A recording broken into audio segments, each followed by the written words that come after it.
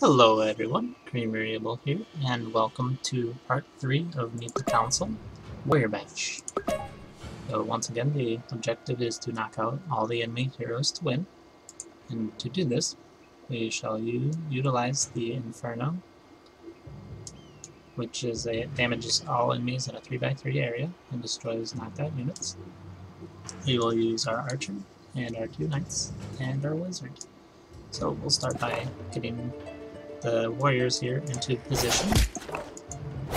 Doing that. Then we will shoot this warrior with our wizard. We'll use our Inferno to blast the three. Then use our archer to finish off this lonely warrior.